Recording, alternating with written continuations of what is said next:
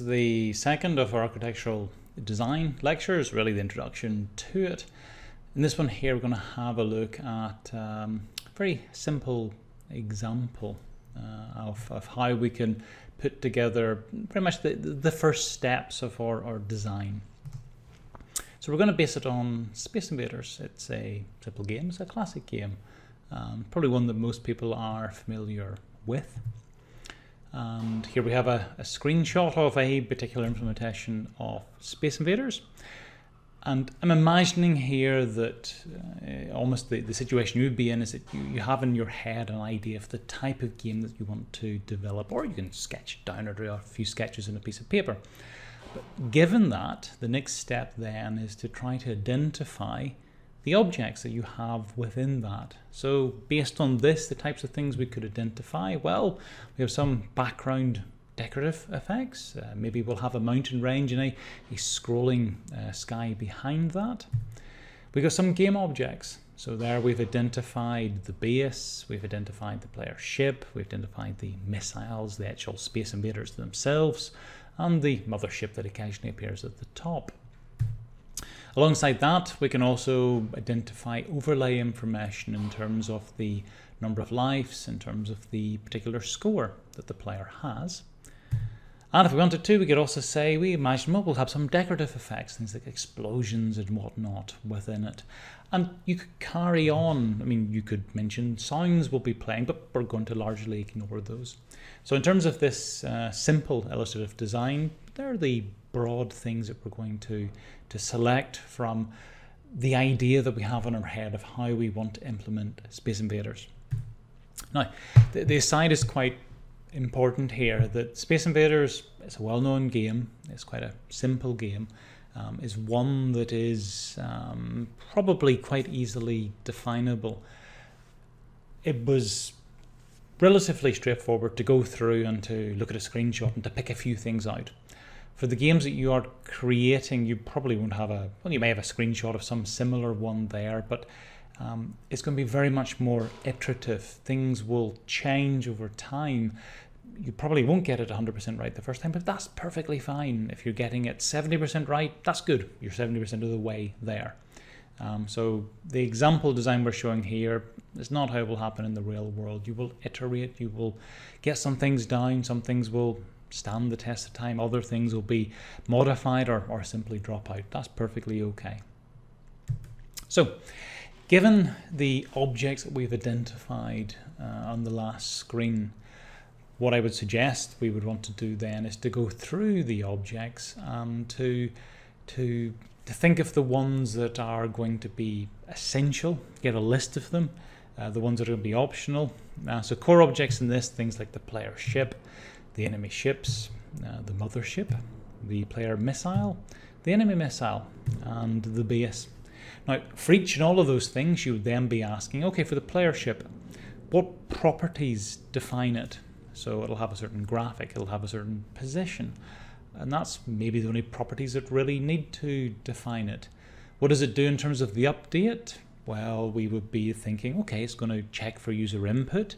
It's going to move every once in a while, depending on user input, and maybe we'll create a player missile. So whereas they are sitting defining uh, its behavior, how do we draw it out? Now, depending what we have in mind, we might just simply say, well, just draw that image. In other cases, we might say, actually, we want to have an animated image or something like that. But in all cases, we've identified an object and we're going through the steps of saying what that object does and what data does it need to encapsulate. You can see here that some decisions already have been made. So for example, the player missile and the enemy missile, we've had separate objects for those. Now, there's nothing right or nothing wrong with this. Designs are arbitrary constructs. Um, I may well on the previous side have decided we will have missiles and the player and enemies will use exactly the same type of missile. It just so happened from the screenshot that they ended up with different ones. Um, but we're engaging that process of adding a bit of structure to it. Um, and you would do the same process for all of them. Go through these, work out, okay, what it should be, what it should not be. Um, so for example, the base at the bottom, um, if actually if I go back um, a couple of slides, so you can see down here for this one at the base at the bottom, um, it gets eroded over time whenever it gets hit by the opponent. So almost the base of the bottom, we're saying there's two parts to it, that we have a graphic showing the city and a graphic showing the, the scale that can, or the shield that can change. Now, that may be element that we want to embed within the, um, the, the base object. It may entail we end up having two separate objects. We have a city and we have a shield as a different object. But they're all, they're all examples of how this can evolve and how it can change. Uh, temporal objects, so alongside that we might say we have explosions, uh, overlay objects, things like the lives or the score that gets to be displayed. And you, you would come up with a similar list of, of objects that you believe you'll have within your game and as mentioned go through have an initial thought about what they should do, the properties they should have. Uh, decorative objects, okay, the background and the, uh, the scrolling um, sky. For hierarchies then, so once we have identified the objects that we think are reasonable to have in our game, it's useful then to think about well, how are we going to group them together? Now, this can be within containers and data structures. It can also be in terms of inheritance. So we've got a, a few sort of hierarchical views um, here. Lots of different ways of doing this, no right, no wrong. So here's just a, a couple of examples. Um, I'm pretty certain you'll come up with different ones if you're doing yourself. So we might say that uh, bottom of the thing here, you can see all the different objects from the missile, the alien ship, the mothership, the player ship alien missile, the player missile, and we've, we've grouped these things. Uh, so we're saying that alien missile and player missile are both types of missile, which is a type of sprite. So that assumes one supposes that sprite is any type of moving object, and a missile is one type of moving object, of which we say there are two different types. An AI controlled sprite is a type of moving sprite but presumably one where we will have some hooks for adding AI into it, and the player ship again, we're just saying is type of sprite. So it's, it's one way of grouping them, of giving them structure, um, of saying, okay, there's certain things that we think are in common and we can inherit. Another example, overlay objects. We might declare an overlay object class and say there's going to be life and score.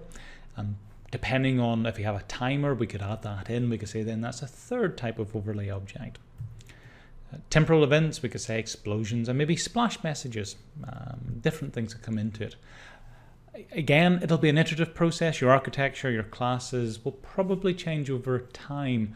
Often, unless initially there's a clear need for putting in a superclass, and you know, it's clear that there'll be some superclass here we can inherit things from. Often, it's a useful idea to design the class, and then whenever you see that there are things that are uh, potentially uh, shareable between them, and it makes sense to relate these things to inheritance, then to refactor it so you do tease out the base class from both of them. So other than um, looking at the inheritance hierarchies, it's useful to think about how will we group these things together and what type of containers. Uh, Space Invaders, there's nothing particularly interesting by way of how you might want to do this. Uh, so we might say that we've got an invaders layer. I suppose the implication then we're saying we could have a main menu layer as well, but this is our screen within which we play it. It's going to contain a number of things. It'll contain one off, the background, the lives, and the score. So there we're assuming these are just objects that are part of, they are composite, they belong to the invaders layer, but there's not a collection of them. We could also assume we have a dynamic array of bases of alien ships and of alien missiles. Now, again, this is where decisions come in. So the, the bases, you may only ever have three bases or four bases or whatever it is. So an array is perfectly fine. Doesn't even have to be a dynamic array.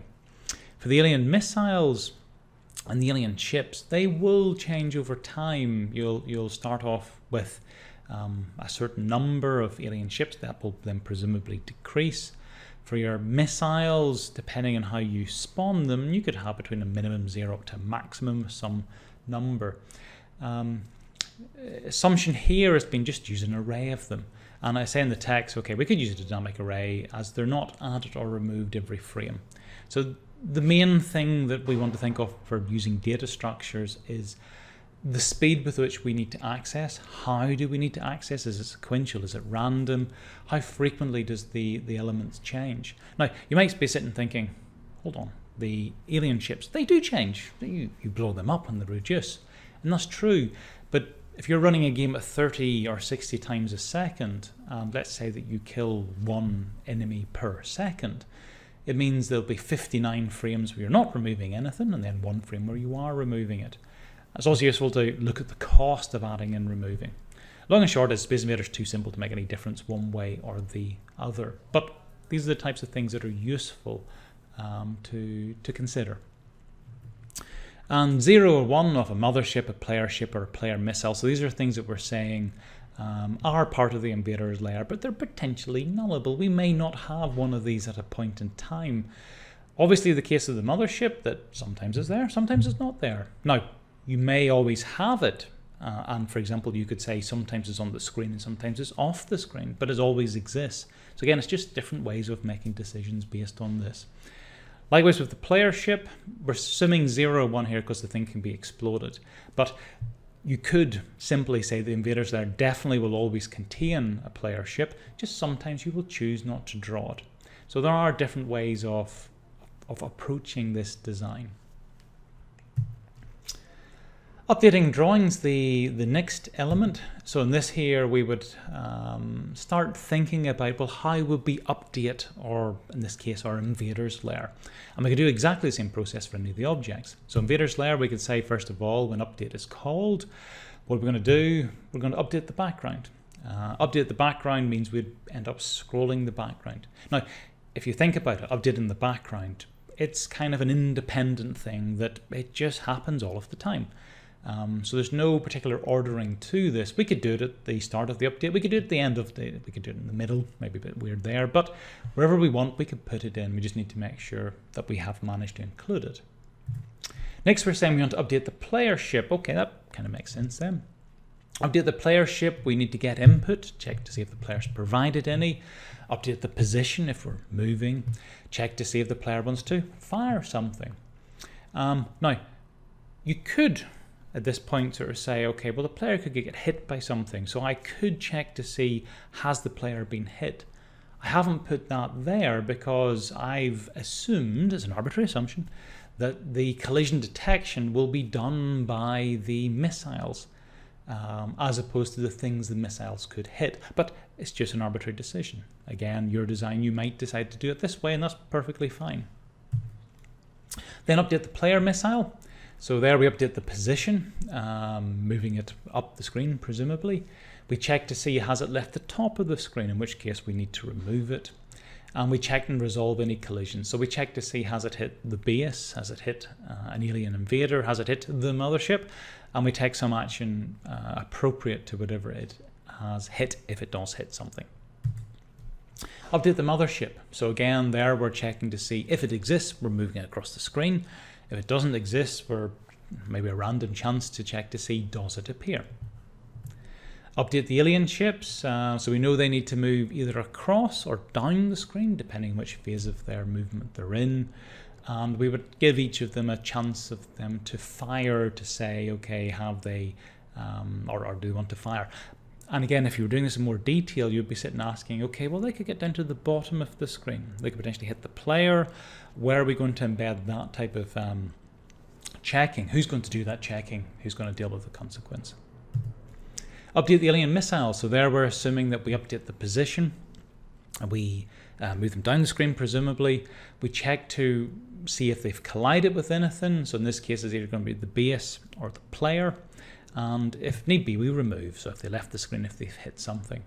And again, a little bit more detail comes in. Most of the other steps would have this detail as well. So there we're sitting saying at the bottom that if it hits the player, then there's a set of further actions we would take in terms of removing a life from the player, triggering a respawn, or triggering game over, depending on the number of lives that there are.